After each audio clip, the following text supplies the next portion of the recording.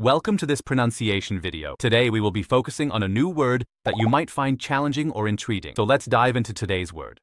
不来, which means Not coming in Chinese. let's say it all together.